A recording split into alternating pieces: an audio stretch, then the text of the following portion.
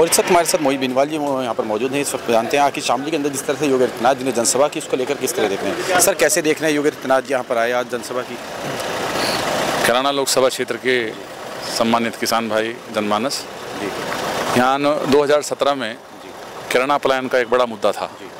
और उस कैराना पलायन को रोकने के लिए अपराधियों को रोकने के लिए मान्य योगी जी के रूप में उप- मुख्यमंत्री उत्तर प्रदेश से वो चुन करके उत्तर प्रदेश में एक अपराध मुक्त वातावरण देने का काम हुआ। आज महाराज जी यहाँ पर श्यामली जनपद में पधारे और सब लोगों ने कहा कि मान्य मोदी जी के नेतृत्व में मान्य योगी जी के नेतृत्व में जो अपराध का शासन उत्तर प्रदेश में था आज वो विकास का शासन हुआ है।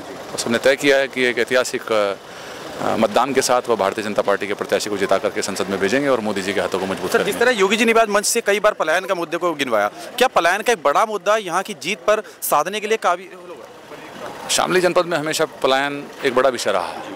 यहाँ के व्यापारी, यहाँ के किसान भाई, यहाँ के युवा साथी, एक ऐसा काल था जब रोज़ हत्याएँ होती थी, रंगदारी मांगी जाती थी, अपराध चारों तरफ़ फैला हुआ था।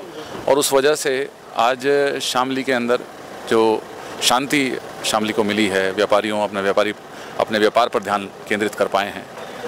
तो उस वातावरण को लेकर के आज आम जनमानस में एक उत्साह है और वो कोई व्यक्ति यहाँ का नहीं चाहता कि वो कैराना की पुरानी स्थिति में पहुँचे।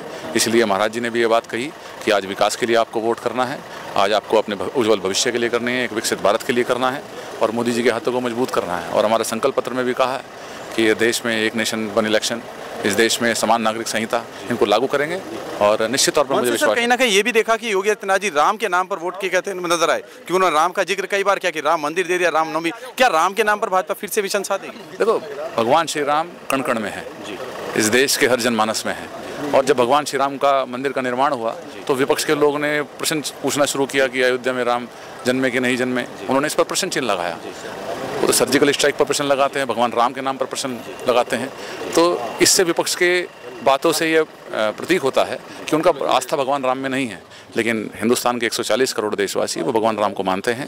कैराना की धरती शामली की जन धरती पश्चिम उत्तर प्रदेश की धरा और भगवान श्री राम में उनकी आस्था है। तो निश्चित तौर पर भगवान श्री राम की आस्था के प्रतीक अयोध्या में भगवान श्री राम का मंदिर जो बना है वो उस विषय को लेकर के आम जनमानस में बहुत उत्साह है खुशी है। चलिए बहुत बहुत शुक्रिया। तो ये थे हमारे साथ।